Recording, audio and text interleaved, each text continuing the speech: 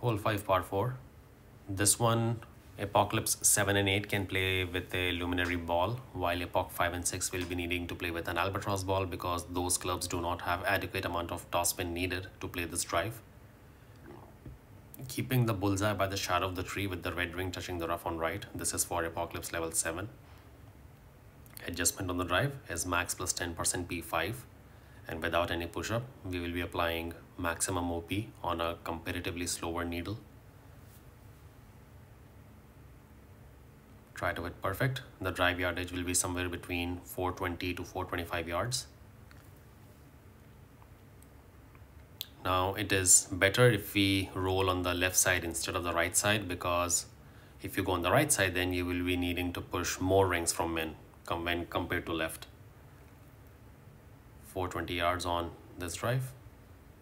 So I was, like I said, I was a little on the right side of the fairway. So here uh, I will be pushing about 30 to 32 rings from min. For Thorn, up to 25 rings, it is 1% slider per ring. So if you push up 22 rings, it's 22% slider. If it's 25 rings, you push 25%, uh, you are at 25% slider. And then from 26 is goes to plus one slider so 26 rings is 27 27 is 28 and so on.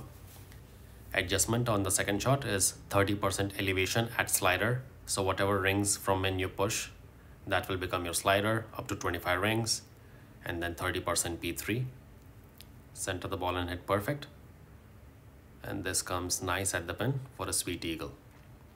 Now this was on the main gameplay. I was on the right side after the drive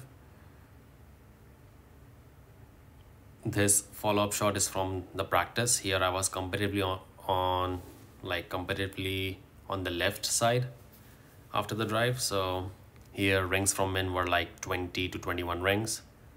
So here i played 21% slider and 30% elevation power three ball numbers again.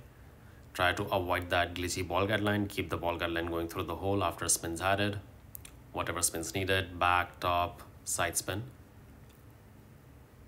you adjust the rings and then center the ball and hit perfect.